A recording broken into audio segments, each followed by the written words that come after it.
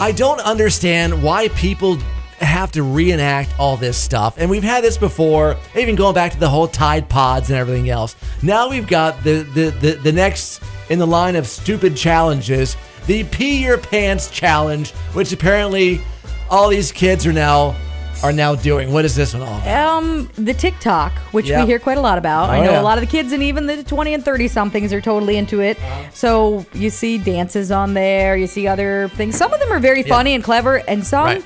are just stupid and kind of gross. And this one Like this one. definitely tops the list. Uh-huh. It's the Pee Your Pants challenge that already has 3.9 million views on TikTok. Uh-huh. And what it is, people are actually peeing their pants on camera. It originally went up April 21st, showing a 19 year old comedian, Liam Wire, whoever Uh-huh. that is, standing in front of a mirror before purposely peeing his pants. and he says, I'm surprised to see that people on the internet will pee themselves if you call it a challenge. So he was doing it to be a smart aleck, basically Uh-huh. just to say, are people dumb enough if I hashtag it and call it a challenge to do it? And the answer here is yes. Yes. And it makes me think back to that movie a few years ago with Adam Sandler. Oh, right. But he did it because the other little guy did it and he was trying to make it Was feel it Big better. Daddy, I think? No, he went back to school. Oh, whatever. Oh, yeah. So, yeah, Yeah, yeah, so, yeah, yeah, anyways. that one.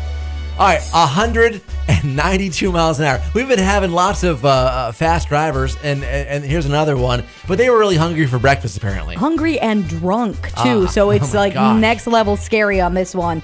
Uh, police in the state of Washington, Yeah. gosh bless Washington, between murder hornets, COVID, and now this ding dong, they have had not a good run of luck in 2020. Mm. This drunk driver this past Sunday morning was caught doing 102, 192 miles per hour on the highway where the speed limit just 60.